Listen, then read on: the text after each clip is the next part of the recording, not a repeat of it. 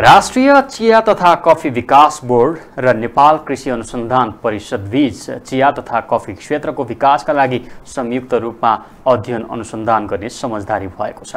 कृषि मन्त्रालयमा आइतबार परिषदका कार्यकारी निर्देशक डाक्टर दीपक भण्डारी र बोर्डका कार्यकारी निर्देशक डाक्टर विष्णु प्रसाद भट्टराईले समझदारी पत्रमा हस्ताक्षर गर्नुभएको हो।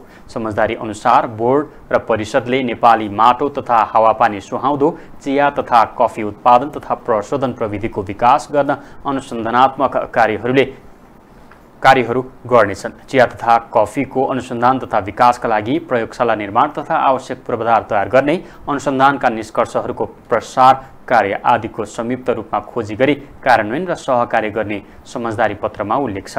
कार्यक्रममा कृषि मन्त्री घनश्याम भूषालले आफू पपुलिस्ट बन्नका लागि काम नगर्न सुझाव दिनुभयो। उहाँले वास्तविक अनुसन्धान र समस्या पहिचान गर्नमा केन्द्रित हुन निर्देशन दिनुभयो।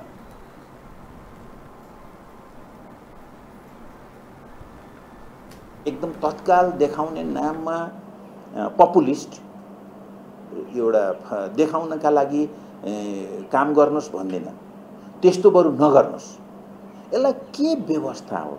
आधारभूत यसका कारणहरू के हुन्? त्यसलाई समाधान गर्नका लागि कसरी काम गर्न सकिन्छ भन्ने कुरा हामीले अहिले व्यवस्था बनाउने हो। मैले त कृषिको व्यवस्था नयाँ आजको लोकतान्त्रिक गणतन्त्रको कृषि कस्तो हुन्छ भन्ने हामीले बनाएकै छैनौँ वास्तवमा। भुसालले सार्वजनिक कृषिमा सहकारी र निजी क्षेत्रले तय गरेको लक्ष्यहरूलाई पुरा गर्न सबै एकताबद्ध भएर लाग्नुपर्ने धारणा राख्नुभयो। सम्झौताको उद्देश्य अनुरूप कार्य गर्न दुवै पक्षले आर्थिक वर्षको वार्षिक स्वीकृत कार्यक्रम र बजेटको सीमाभित्र रही आवश्यक प्रारम्भिक अध्ययन अनुसन्धानात्मक कार्यहरू गर्ने समझदारी पत्रमा उल्लेख छ।